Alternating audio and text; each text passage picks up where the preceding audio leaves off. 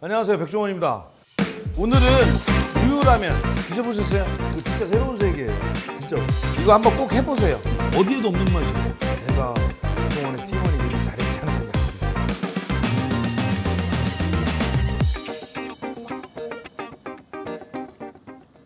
미쳤다.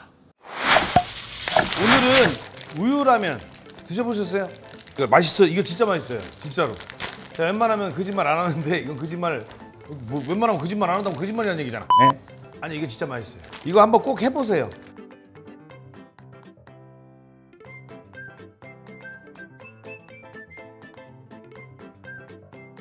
라면 어떤 거든 괜찮은데 가능하면 좀 매콤한 맛 나는 라면 쓰시면 돼요. 라면마다 그 달라요. 약간씩. 진라면은 매운맛 라면으로 하는 게 맛있어요. 요거. 간단 끓이는 것도 되게 간단해요. 냄비에 불 켜주시고 대신에 물은 보통 라면 끓일 때 세 컵 쓰잖아요. 근데 이거는 한 두 컵만 넣어도 돼요. 굳이 이 물을 쓸 게 아니기 때문에 물이 끓는 동안 재료 손질만 해놓으면 돼요. 대파만 원래 쓰는데 해보니까 청양고추까지 넣는 게 맛있어요. 매운 거 싫은 분들은 청양고추 빼세요. 그러니까 대파는 라면에 들어가서 송송송송 썰어 놓으면 되고 이거 꼭 해보세요. 우유라면 이상할 것 같은데 딱 그 투움바 파스타 있죠? 그거랑 비슷한 맛 나요.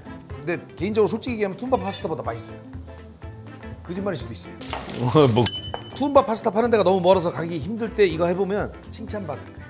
고추도 잘게 잘게. 어려서 아예 매운 걸 못 먹는 거 아니면 떡볶이 먹는 아이들은 요 고추, 고추 넣고 해주시는 게 훨씬 맛있어요. 원래는 파도 좀 나눠서 끓일 때 넣는 양이 있고 나중에 고명이 있는데 그냥 다 넣으세요 귀찮은데 근데 우리는 좀 빼놔야 되겠지. 명색이 유튜브니까 나중에 그림을 찍어야 되니까 그렇죠? 조금 빼놓고 물 금방 끓죠 두 개니까. 그러면 여기다가 건더기 스프만.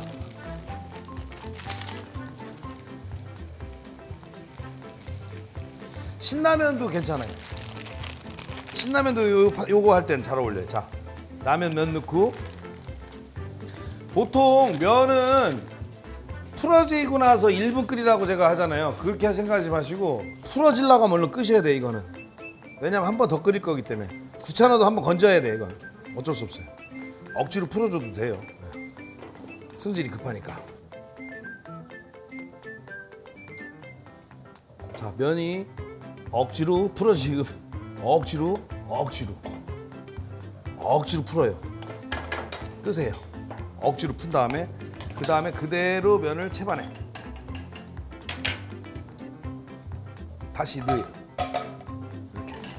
그 다음에 우유. 우유를 두 컵.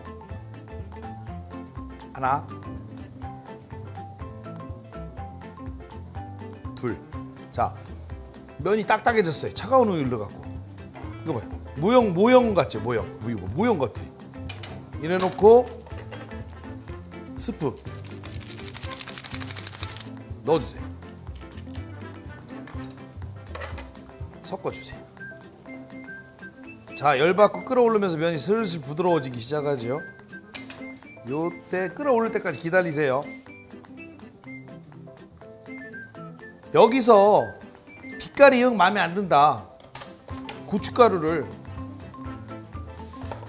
빛깔 마음에 들어도 그좀 넣으세요. 그래야지 좀 뻘겋고 그럴싸하니까. 우유 때문에 너무 허해지잖아요. 반 정도 반 큰술 딱 넣으세요. 그럼 색깔이 좀 더 공격적으로 바뀌어요. 자 끓어오르죠? 파하고 고추를 넣어요. 자 그럴싸하죠. 면 쫄깃하게. 이렇게 약간 꼬독꼬독한 면을 좋아하시면 지금 드시면 되고 조금 퍼진 면을 좋아하시면 조금 더 끓여주시면 되고.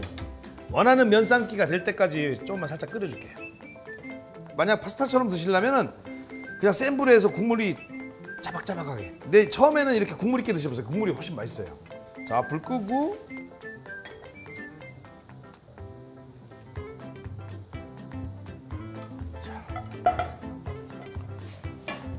완성.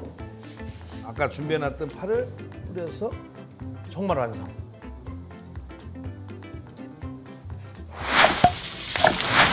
자, 잘 먹겠습니다. 그럴싸하지요. 근데 약간 의심이스럽죠. 처음 해보면 아마 의심스러울 거예요.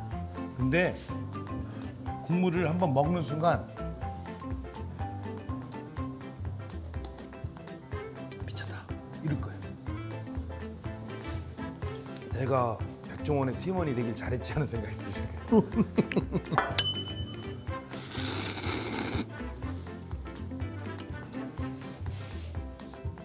라면 먹을 때 내 몸에 짜- 약간 못할 짓 하는 거 같잖아요. 미안하잖아요. 그렇죠? 이거 먹으면 오늘 무슨 못 만드는 날 같아. 어, 진짜로 건강을 위해서.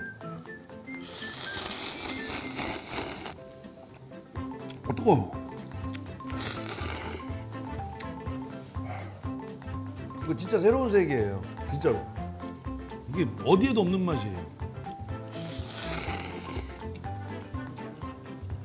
장담하는데 중독 걸릴 사람도 있어요. 팀원분들 중에 적당히 드세요. 살쪄요. 라면은 맛있게 드세요.